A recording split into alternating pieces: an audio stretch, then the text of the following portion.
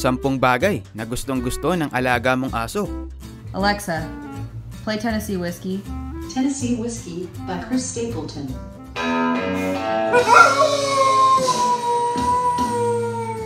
Yo, what's up guys? It's Clark TV here. Napaka life-changing na magkaroon ng alagang aso. Para kang nagkaroon ng anak pero hindi nga lang sila umaalis sa stage na parang baby kung umasta. Nakakatuwa dahil parang sa'yo umiikot ang buhay nila. Di sila mapakali kapag wala ka at gugustuhin nilang makipaglaro at makipaglambingan lagi sa'yo. Siguradong di ka mapapagod sa paghima sa kanilang tiyan dahil ito ang paborito nilang paraan ng paglalambing. Pati sa pagtulog ay gusto nila nakatabi o malapit sa'yo para pakaramdam nila ay safe na safe at di ka mawawalay sa kanila.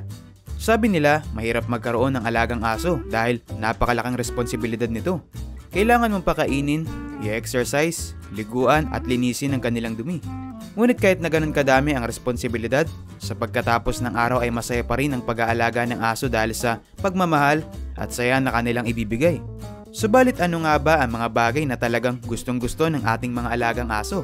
Atin ang alamin yan ngayon. Pangongolekta ng mga bagay alam mo ba na ang ating mga alagang aso ay mahilig na mangolekta ng bagay? Oo, mahilig sila mangolekta ng mga bagay at idadagdag ito sa kanilang koleksyon.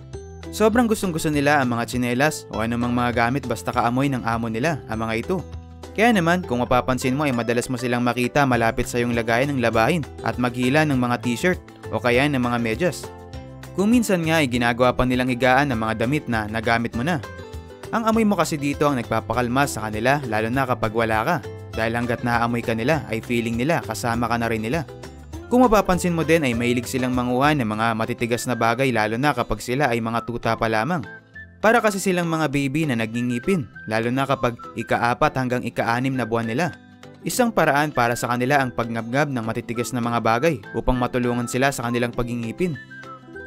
Kumain ng mag-isa Madalas sakala natin na gusto ng ating mga alagang aso na kasama nila tayo habang kumakain sila.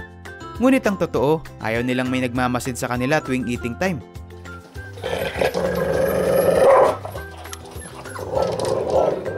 Nahihiya kasi sila at para sa mga aso, ang oras para kumain ay isang personal moment. At ito ay bahagi ng kanilang canine nature. Itinuturing ka kasi nilang leader of the pack o alpha dog kaya naman kapag tinitingnan mo sila habang kumakain ay hindi sila magiging komportable. Baka nga isa pa ito sa mga rason kung bakit minsan ay hindi sila kumakain at akala mo ay may masakit sa kanila. Kung mapapansin mo nga ay kapag bibigyan mo sila ng treats, hindi nila ito kakainin ng nakaharap sa'yo. Lalayo sila o kaya naman ay tatalikod bago kainin ng treats na binigay mo. Makikinang na mga bagay. Kakaiba kasi ito sa kanilang paningin at ang ilaw mula sa mga makikinang na bagay ay nakakapukaw ng kanilang atensyon.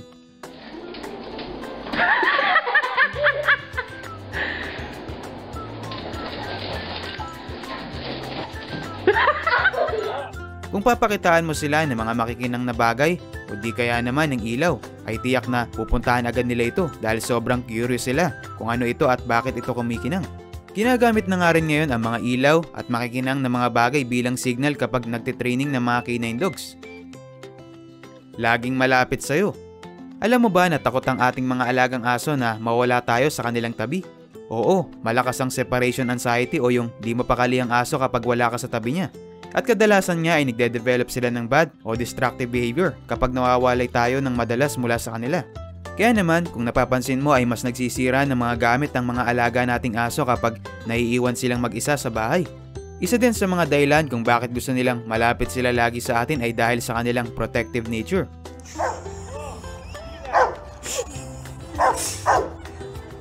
Overprotective kasi ang mga aso lalo na pagdating sa kanilang amo. Gusto nila na lagi silang katabi ng kanilang amo para naman masiguro nilang safe na safe ito. Belly rubs. Mahilig bang humiga ng patihaya ang iyong alagang aso at magpakamot ng kanilang tiyan? Sabi ng mga ekspertong dog behaviorist ay kapag daw pinapakita ng aso ang kanyang tiyan sa'yo, ang ibig sabihin daw nito ay pinagkakatiwalaan ka niya. Ang tiyan kasi niya ang isa sa pinaka-vulnerable na bahagi ng kanyang katawan Kapag humiga siya ng patihaya ay di siya makakilos ng mabilis kung siya man ay nasa kapahamakan. Ngunit kapag nakadapa ay mabilis siyang makakatayo kapag nakasensya ng panganib. Kaya naman kung nagpapabelly rubs o nagpapahimas ng tiyan ng iyong aso ay matuwa ka dahil ipinagkakatiwala niya sa iyo ang kanyang buhay.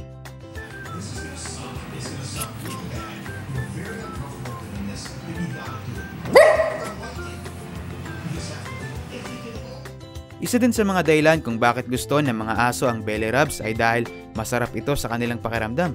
Sa tuwing kinakamutan kasi natin sila ng tiyan, ay nai-stimulate ang kanilang hair follicles na siyang nag-trigger sa reaksyon ng kanilang utak para mag-produce ng serotonin.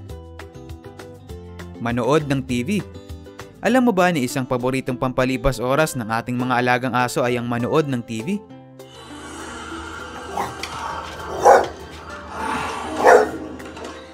Natutuwa kasi sila sa mga gumagalaw ng mga bagay o animation na nakikita nila sa TV.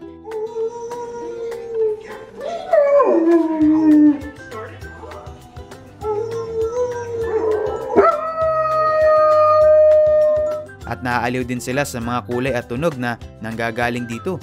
May iba pa nga mga aso na natututo ng mga tricks mula sa panonood ng ibang mga aso sa TV. Kaya isa din ito sa pagtanggal nila ng boring. Mag-fetch ng bola. Gustong gusto ng mga aso kapag nakakita sila ng bola at tiyak na hahabulin talaga nito ang bola. Set. Stand. Spin. Good boy. Go. Pakitaan mo pa nga lang sila ng bola ay tiyak na magwawagwag na ang kanilang buntot at di sila mapakali sa tuwa. Isa din sa mga dahilan kung bakit gustong gusto nila mag-fetch ng bola ay dahil nakakaranas sila ng tinatawag na runner's high kung saan na-elevate ang level ng serotonin mula sa kanilang utak sa tuwing sila ay nag exercise Matulog, katabi ang kanilang amo. Gustong gusto din ng ating mga alagang aso na katabi natin sila sa tuwing tayo ay matutulog. Mas safe kasi ang pakaramdam nila kapag katabi tayong matulog. Isa pang dahilan ay dahil gusto nilang masiguro na napoprotektahan tayo at walang masamang mangyayari sa atin o walang di kilalang tao ang lalapit sa atin kapag tayo ay nahihimbing sa pagtulog. Mas malakas ang pakaramdam ng ating mga aso kapag sleeping time. Konting kaluskos lamang ay tiyak na magigising sila. Makinig sa music. Alam mo ba na mahilig din sa music ang ating alagang aso?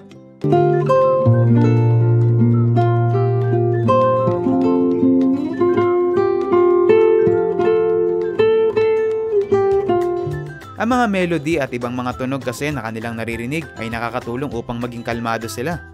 Kapag nga New Year ay mabisang paraan na patugtugan ng mga calming music o nakaka-relax na music ang ating mga aso upang maibsan ang kanilang takot at stress mula sa mga paputok na kanilang naririnig.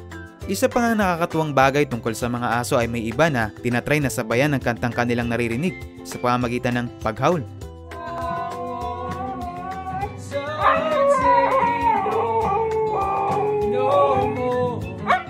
Sinusubukan pa nga nilang gayahin talaga ang tono ng kanta minsan. Maglakbay kasama ka. Gustong gusto din ng mga aso gumala kapag kasama ang kanilang mga amo. Kaya naman may mga aso na kapag nakikitang nakabihis panglabas ang kanyang amo ay akala nito ay gagala na sila. Kaya naman agad itong tatakbo papunta sa kanyang amo at magpapakalong dito. Gusto kasi talaga ng mga aso na hanggat maaari ay kasama mo sila kahit saan ka man magpunta. Ganon kasi talaga nila kamahal ang kanilang amo Ayaw nilang mawawalay dito at may iwang mag-isa sa bahay habang nagaantay kung kailan babalik ang kanilang amo. Ikaw, alin sa mga ito ang pinakagusto ng alaga mong aso? Comment down below yung kwento mo para malaman namin. So once again, this is Clark TV and I will see you guys on my next video. Peace out! Lalaki, naglalakad sa tabi ng lawa nang may mapansin na kakaiba. Sa loob ng dalawang buwan ay may napansin siyang bumubula mula sa ilalim papunta sa ibabaw ng tubig na nanggagaling sa lawa. Dito na niya napag-isipan na ipaalam ito sa mga otoridad at nakapagdesisyon sila na alamin kung ano ang sanhi ng pagkakaroon ng mga misteryosong bula na ito sa lawa.